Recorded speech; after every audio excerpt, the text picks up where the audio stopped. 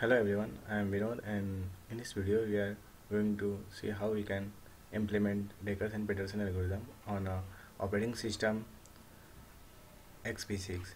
So first we see what are the objective in this video that we have.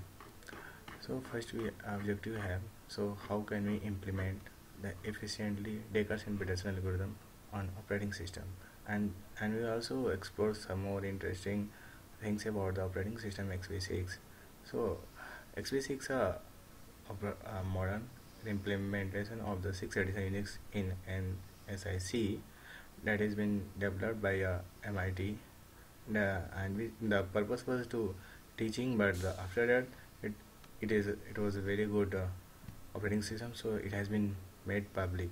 So uh, the beauty is also that we can add new features inside this we need to just follow some steps which, which is not, not a part of our video. So this operating system is totally based on the C language and there are some inbuilt and modified accordingly our uh, our functionality function. Uh, it, uh, it has also some system call function which is which has been modified further and has some limited number of data types. We can see the um, we can see the the operating system. Uh, this is a xv6 public. Inside this all the files are in c which is written and there are some useful files like uh, we can check uh, um, user.h user.h inside this the all the system calls which has been modified has been written over like for exit and make directory and some ulib.c file has some function and also has some uh, some another .h files that state.h and the types.h inside that types.h we have we have defined the uh, data types like character u character u and this is a limited uh, data type so we can have to we have, will have to use those data types to implement our algorithm. So let's talk about our the our algorithm Dekker and Peterson. So so we skip this part. In Dekker's algorithm uh, why the Dekker algorithm is more important? The Dekker algorithm and Peter's algorithm which is a almost similar they though both always try to avoid deadlock condition or live lock condition. We can learn this live, live and deadlock condition using this picture. Like in this picture every process is waiting for another. Like so we can't uh, process further. So we need to avoid or eliminate those conditions which is which are required for deadlock. So we need to follow some rules and the, the, the, that time the Dekker and Peterson comes in the picture. In the Dekker algorithm we use two variables flag which is flag which is a uh, we may uh, write in a top and the another is turn.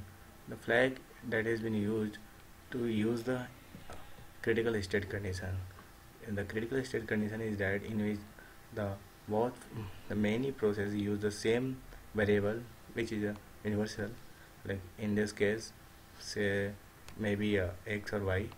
So but we need to have some kind of ways we, so we can avoid those those processes to work on the same variable at a time. So we use a flag to avoid those conditions and turn to have some priority in the processes and that's how we manage to uh, avoid deadlock condition or live lock condition.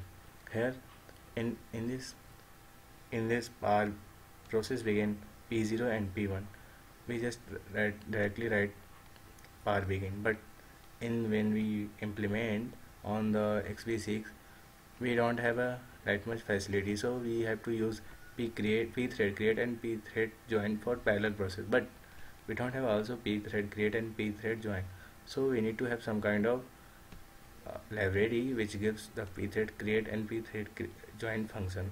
So we have taken from the internet we have so uh, it is here. pthread.c I am also giving this link in uh, my description. So don't not to worry. So in the next come to our lecture.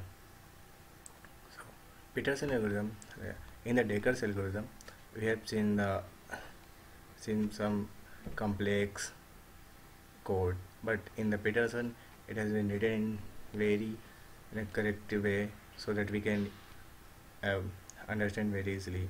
It has been it has merged the, all the condition in the while like flag 1 and turn and same goes to p0 and p1 so both are the similar uh, almost same but when we implement in uh, xv6 we need to have a, process process that that are going to be parallel. We use pthread and pcreate using these semantics and and say syntax.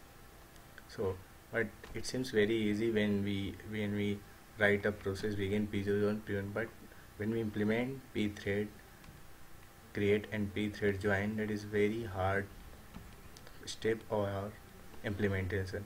So but algorithm part is the important part because it is a basis or base of the, this video but the this is very easy to implement. So I have a video video video video link and some differences over there. I hope you enjoy this video. Thank you